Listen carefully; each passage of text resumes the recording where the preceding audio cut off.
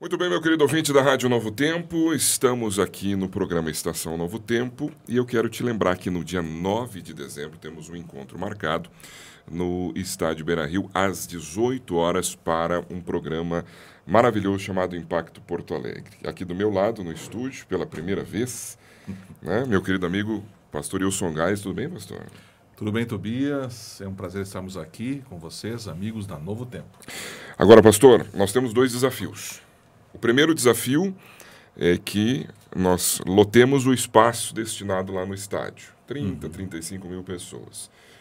Pastor Bolhão vai estar aqui, quem sabe sua última passagem em solos gaúchos, né? Pela sua idade, aposentado. Mas nós temos agora um segundo desafio e sobre ele nós vamos falar agora, que é uma arrecadação histórica de alimentos. É isso mesmo? É isso mesmo, Tobias. Nós esperamos lá ter cerca de 30, 35 mil pessoas. É, aqui da nossa associação, da nossa região, em torno de 10 mil pessoas. E para cada uma das sedes administrativas da igreja, Novo Hamburgo, também no sul de Porto Alegre, Associação Sul, é, também a mesma quantia. E o nosso desafio é o ingresso é gratuito. Uhum. Você receberá o um ingresso é, numa igreja adventista do sétimo dia, com o pastor lá.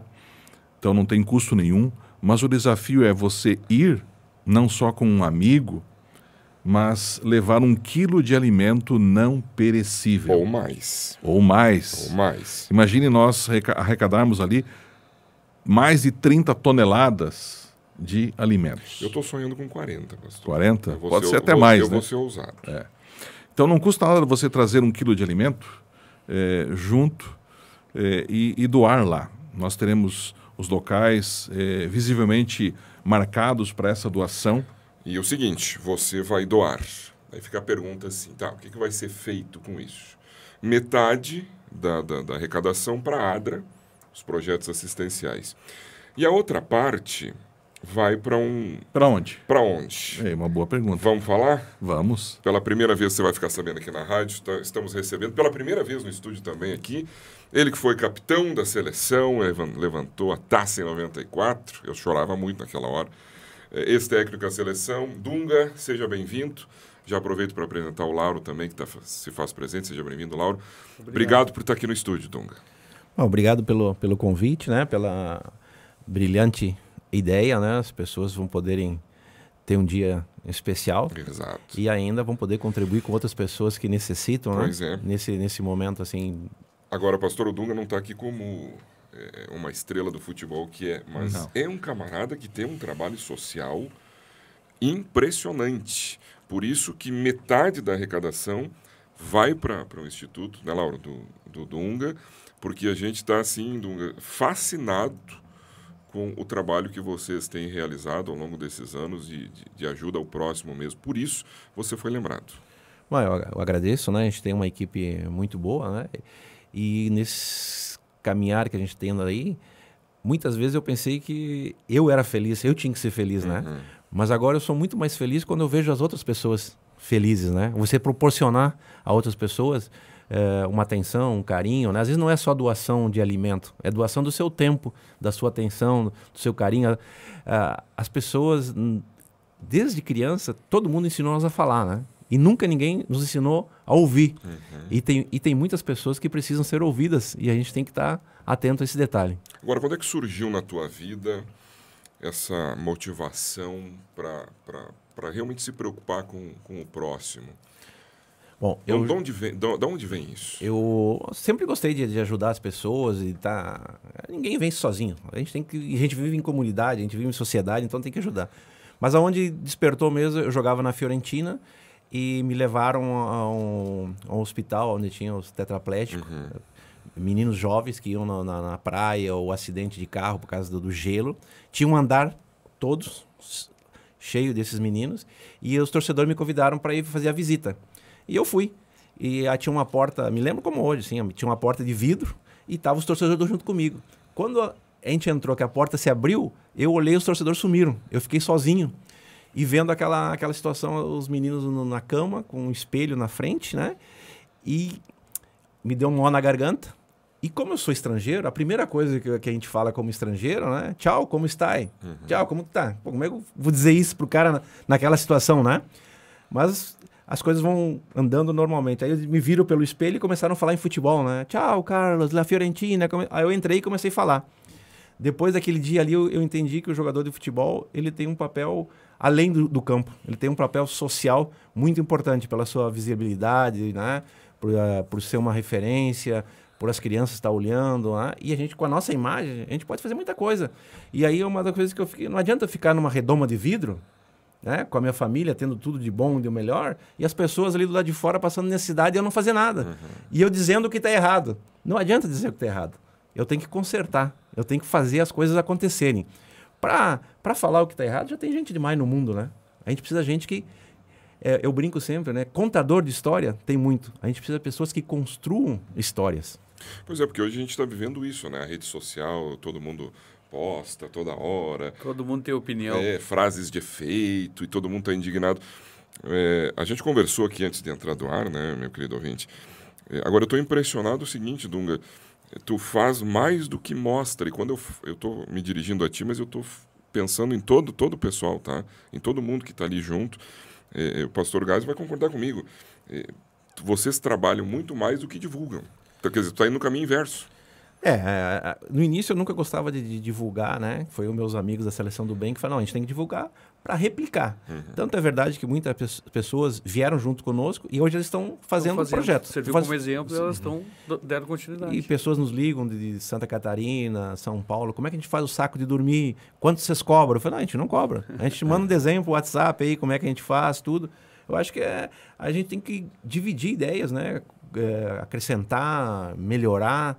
E às vezes a, a, a, gente fica meio, quando volta, que a gente gostaria de fazer mais. Mas a gente não tem braço para fazer tudo, para atender todas as pessoas. A demanda é grande. A né? demanda é grande, as Muito pessoas. Grande. E às vezes a gente cai aquilo no contraditório que as pessoas vêm, a gente não tem condição de ajudar, elas ficam meio bravas, a gente tem que relevar também, né?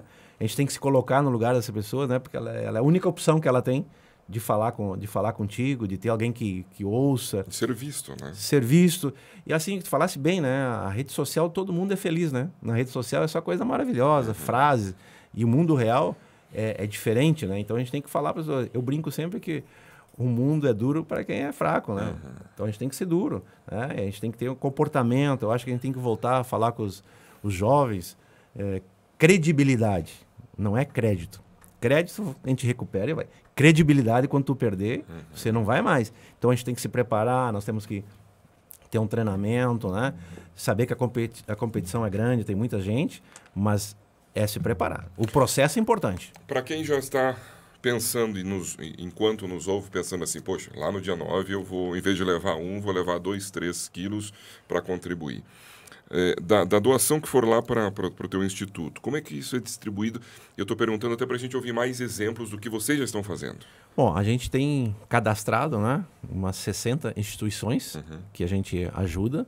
Né? Depende, lógico, quanto alimento entra, a gente, a gente ajuda. Então, é, quando entra, a gente já sabe essa, essa instituição, quantas pessoas tem? 120, essa tem 100, essa tem 50, essa tem 20, essa tem 10. Tem lugares assim que é, as creches, é uma senhora que atende 20 crianças, 10 crianças, então não pode ter a mesma claro. quanti Sim, quantidade, né? Essa, essa dosagem. Essa, essa, essa triagem aí. Isso. E tem bastante gente necessitada, mas tem muita gente fazendo bem, tá? Uhum. Isso é bom, é bom ressaltar para as pessoas. A gente só fala na coisa negativa, mas tem muita, muita, muita gente realmente fazendo a diferença. Viu? Porque acaba inspirando também, né, Laura? Isso. Outras pessoas Isso. que não faziam, de repente fica ali motivado. Começa a né? fazer e, e, tu começa a ajudar, começa, vira um... um tu, tu, cada vez vai ajudar mais. Agora, me conta um relato aí breve, Dunga, sobre algum momento que te marcou. Porque é, vocês estavam nos contando aqui fora do ar, e vocês vão até as pessoas. Isso é interessante, né, pastor? Eles, eles estão no meio da galera que precisa, não é aquela doação à distância, né? Me fala aí, Dunga, pelo menos um. Não é por procuração, é, né? Por delegação. Vai lá, né? Inclusive tem até vídeo circulando por aí. A gente vai nas comunidades, a gente leva cestas básicas nas comunidades e lá, organizado com nome, CPF, uh, tem que estar tá na lista, tem que. Ser É, organizado é, é uma, antes. é uma doação, mas é educacional também. É. Nada é. Disciplina. É Tem disciplina. que ter disciplina. Por quê? A gente chega, conversa com os líderes comunitários, com os professores. Quem precisa? Bom, precisa 80 pessoas. Ok. Qual o horário? Às quatro da tarde. Quatro horas da tarde a gente está lá, leva. Chovendo, quem não vem, frio, não quem não interessa. vem, quem não vem não recebe. Uhum. E aí teve uma história muito legal assim, um dia eu estava na, na, na Restinga e, e aí eu estava entregando, tá? Aí o, o senhor que estava lá organizando falou: "Não, sabe o que é, Dunga? É que tá tá chovendo, tá frio, né?" Aí eu olhei para ele assim, tá, e eu tô fazendo o que aqui? eu podia estar em casa, Exato. quente. Tá frio. Aí eu falei, nós ia nós ia resolver dois problemas dele, tá? Alimentação e o frio. Nossa, Então as pessoas lev- também têm que ser determinadas, tá? também. Tem que ensinar as pessoas, né? É, é, tem aquelas frases montadas, ah, dá a vara de pescar. Mas tem gente que está sem força de pegar a vara. Sim. Então tem que primeiro Sim. dar força para ela, né? Mas não é força só da alimentação, né? É força espiritual também. Eu acho que isso tá, tá faltando um pouco para nós, né? A gente acreditar mais, a gente, ter, a gente ter fé, né? Porque fé é uma coisa que tu não enxerga. Mas que tu- se tu acreditar, tu vai atrás, tu dá o primeiro passo, aí dá o busca. segundo e aí tu vai embora. Vai embora. E é por isso que nós estamos, pastor eh, Geisler, convidando nosso Sim, ouvinte, sim. todas as comunidades, deixar claro isso, né? Eh, Não é um programa para a Igreja Adventista, é um programa para todas as comunidades do Rio Grande do Sul, porque as portas estarão abertas. As portas estarão abertas, mas lá no dia só entra com um ingresso na mão. É, não podemos convidar assim, vá lá que você vai entrar. Por isso você tem que procurar uma igreja adventista do sétimo dia mais perto da sua casa, é, falar com o pessoal lá, com a liderança, com o pastor, e, e você consegue um ingresso. E não é difícil, né, pastor? É porque é só, gratuito. procu- é só procurar Sim, o só endereço procurar. da igreja mais próximo e dizer, olha, eu vi na rádio, eu preciso do ingresso, e pronto. Mas por que, que não abre para todo mundo que quiser? Não, tem uma limitação de cadeiras para nós, para o evento no dia. Então, nós não podemos abrir toda a lotação do, do estádio. Então, esse é o caminho, com ingresso, procurando. Mas não vai ser vendido, deixar isso muito Não, claro. não é vendido. Agora, você indo ao evento, não esqueça de trazer pelo menos um quilo de alimento não perecível. Importante. Eu tenho um verso da Bíblia aqui que eu gostaria de ler para todos os amigos, também especialmente aqui para o Dunga e, e o seu assessor aqui, o Lauro, né? Lauro. Que está em Mateus 25 e diz assim, Dunga: é, Então o rei dirá também aos que estiverem à sua esquerda, no caso aqui, referindo-se a Jesus, quando ele voltar a essa terra: Afastem-se de mim, malditos, para o fogo eterno, preparado para o diabo e seus anjos. Porque tive fome me- e você não me deu de comer, tive sede e você não me deu de beber. Fui forasteiro e você não me hospedou, estava nu e você não me vestiu, estava enfermo, preso e você não foi me ver. Aí as pessoas vão perguntar, mas quando é, Senhor, eh, que, que te vimos com fome, com sede, forasteiro, nu, enfermo, preso e não, não te socorremos? Nunca te vimos assim. Aí Cristo dirá para eles. Então o rei responderá: Em verdade, lhes digo que sempre que vocês deixaram de fazer a um destes mais pequeninos, ou a esses pequeninos, aos necessitados, foi a mim que vocês deixaram de fazer. É. E quando vocês fazem a estes, é como se estivessem fazendo a mim.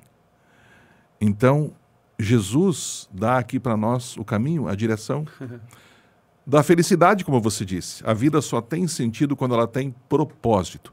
Você é um camarada vencedor eh, na sua profissão, naquilo que você escolheu, na sua carreira, você chegou ao seu auge. Mas a vida continua, mesmo depois que a carreira profissional ali como jogador terminou, depois como técnico. Mas a vida só tem sentido quando ela tem um propósito além daquilo que, que nós temos como talento para fazer na vida. Um, um além, um passo além. E eu vi em você, no seu olhar, no seu rosto, na sua fala, essa felicidade. A felicidade em fazer os outros felizes. Uma vida com propósito. Parabéns, Dunga. Parabéns a você, Lauro. Parabéns à seleção do bem. Camisa 8, né? Seleção do bem 8. É, que independente de qual a nossa missão na, na Terra, se nós, nós não incluirmos salvar pessoas, ajudar pessoas, fazer Ajudar pessoas crescerem, ela não é completa. Sim. É. É Dunga, palavra, obrigado. Eu quero te dizer o seguinte, a partir de agora, se quiserem ajuda da Novo Tempo, a nossa rádio Mas- está à disposição vamos- de vocês, né? Viu, Tobias? Vamos pedir para que ele também faça um apelo aos nossos amigos, sim, né? Sim, Mas eu quero deixar claro isso, né? Quando precisarem de ajuda, divulgação, estamos com as portas abertas né? para ajudar no que pudermos. E eu acho também. A Rádio Novo Tempo está de é. portas abertas para divulgar os projetos, Exatamente. além desse do Beira Rio, da Seleção do Bem. E um, de, um, detalhe importante: eu acho que o senhor podia fazer um convite oficial. Né, já fez, mas Sim. vamos fazer no ar agora, porque daí compromete mais para a presença deles lá no dia 8. Não temos os ingressos impressos aqui agora, ainda não chegaram para nós, eles vêm de Curitiba, mas vamos fazê-los fazê chegar à mão de vocês, são os nossos convidados de honra é, cadeira VIP lá no dia é, 9 de dezembro. Ah, muito obrigado, né? Convidar todos que estão nos ouvindo aí para irem até a igreja, tirar seu, seu cupom, fazer a sua, a sua parte, a sua diferença na, na sociedade, né? Tá se aproximando Natal, Ano Novo, né? Uma data festiva mas a gente não pode esperar só por essas datas. É. Todo dia é um dia de a gente agradecer a Deus a nossa vida, né? Exato. É, todo mundo pensa no milagre. O milagre a gente já está vivo, né? A gente já está nessa terra aqui, a vida que é maravilhosa com todas as situações que se encontra. Imagina a gente, tempo atrás não se conhecia, hoje estamos aqui, cada um falando das suas ideias, da sua vida, do seu propósito, né? Isso é agregar forças para que outras pessoas também se agreguem a nós no dia 9 de dezembro. Maravilha. Obrigado, Lauro. Obrigado, Dunga. Obrigado, pastor Geisler, pela presença aqui no estúdio também. Meu querido ouvinte, o compromisso está firmado. Anota aí, 9 de dezembro, 18 horas, todos os caminhos levam ao Beira Rio. Mas primeiro você passa na igreja adventista mais próxima para é, pegar aí o seu, o seu ingresso.